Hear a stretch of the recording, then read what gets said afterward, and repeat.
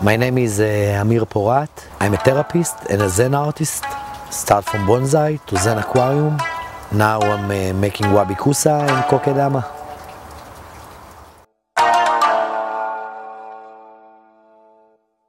Wabi kusa is the nature as is, the imperfection of things.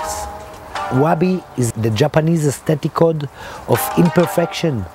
The kusa is a, a grass or a plant, so wabi kusa is the nature as is, the good and the bad, the way it is, as God made, not as man made.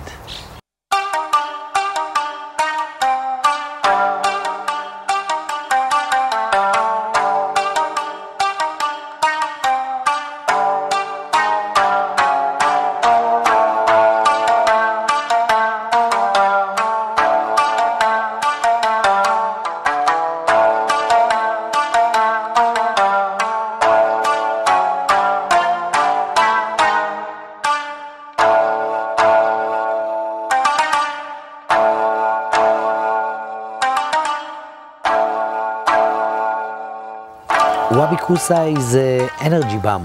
It's contain all natural resources. It's bring enlightenment to the house. It's make you happy. You can't stop looking at him. You want to feel it, you smell it. It- It's got a smell of a river, of a vacation. Just perfect. The human consciousness, it's, it's not used to see aqua plants, indoor garden, in your house. These aqua plants.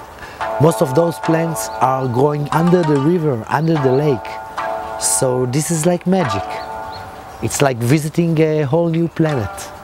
Most of the people are not going diving on rivers, so they don't know those plants. So it's great. It's an innovation. It's a bless. Wabi Kusa, it's a bless for every house.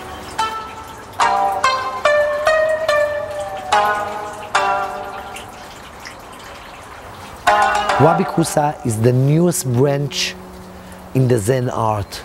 As the bonsai, small, minimalism, try to mimic the nature as is, indoor, this aesthetic code, planting in a substrate bowl, clean, uh, clear, can put in the water, not much care, is the future of home styling. Not a things even close to them, by the, by the beauty as nature is such nature as is. The most beautiful thing in the world.